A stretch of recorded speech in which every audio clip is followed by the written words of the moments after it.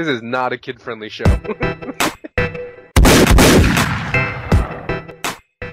Yo, what's going on my dudes? Welcome to another RuneScape news coverage video. So today we're going to go over the drop rates for Nex, Angel of Death, as well as Telos. So without any further ado, let's just jump right into the post. He says, Hey everyone, today's the first day of the release drop rates and we've decided to put two together to make up for not releasing one last week. And without a shadow of doubt, there are some of the most requested drop rates we have in-game. Today, we bring you Nex, Angel of Death, and Telos. Nex, Angel of Death. The amount of players that you kill Nex with has an impact on the drop chance for the unique items, but not the cosmetic chests. The chance decreases massively if there are more than the intended group size in the fight. The chance with 7 people. There's a 1 in 1000 chance for a unique item like Wand of the Praesul or Imperium Core. 1 in 250 chance for Praesul Codex, only if you failed the unique roll. So 1 in 5,000 chance for an intricate chest. The chance with 8 or more people. Only the top 7 are eligible for a unique drop. 1 in 5,000 chance of a unique item like one of the Praesul or Imperium Core, 1 in 250 chance of Praesul Codex only if he fails a unique roll, and 1 in 5,000 chance for an intricate chest. Now moving on to Telos.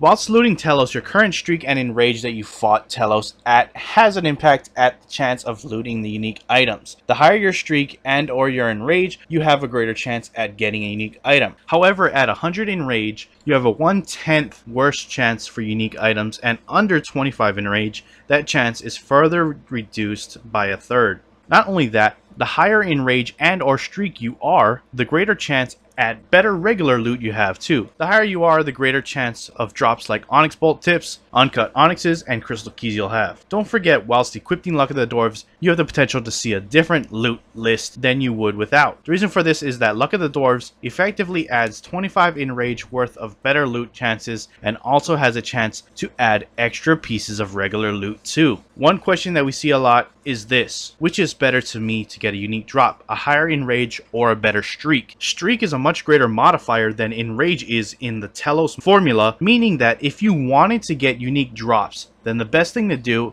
is to get a higher streak. A greater streak will give you a better chance than a high rage, low streak kill. And due to the sensitive nature and volatility in Telos' drops, we won't be revealing the full formula in which Telos determines their unique drops, but will instead give you a few examples to demonstrate how it works. We've decided to go with the key milestone examples to make sure they're relatable. Streak 1 enrage 100, you have a 1 and 263 chance of unique drop.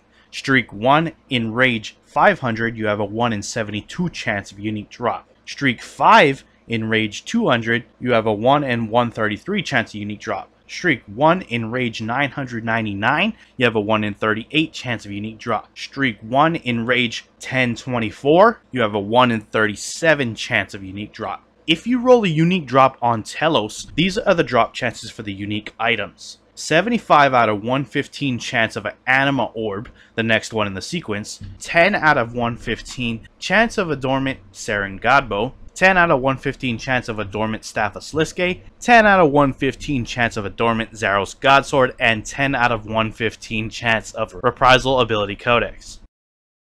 I hope that you've gotten some insight into the drop rates for these bosses and understand a bit more about them. Next week we'll be taking a look at Araxxor, Rise of the Six, and Kalphite King, Mod Timbo, and the RuneScape team. So that's it for the video. If you enjoyed it, hit the like button. If you're not subscribed and you want to stay updated on all things RuneScape related, then hit that subscribe button. Anyways, I appreciate you guys watching. I'm out. Peace.